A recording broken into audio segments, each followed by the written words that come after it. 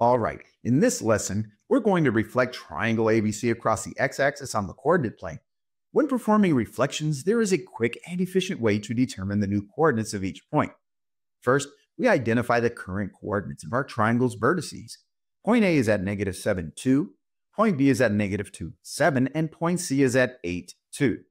After identifying our current coordinates, we apply the reflection rule, which when reflecting across the x-axis, the x-coordinates stay the same, but the y-coordinates change to their opposites.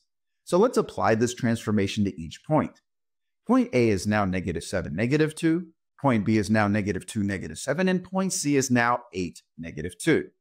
Now, if we plot these new points and connect them, we can see that our reflected triangle is a perfect mirror image across the x-axis. It fits exactly into place while maintaining its shape and size. One important thing to remember is that a reflection is a rigid transformation. This means that the size and the shape of the figure will not change.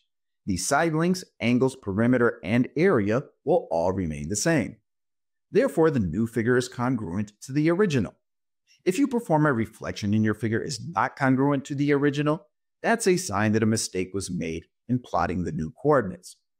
Another thing that we should notice about our reflection is that each point of the original figure and the new figure are the same distance to the x-axis. Point A was 2 units above the x-axis, now it is 2 units below.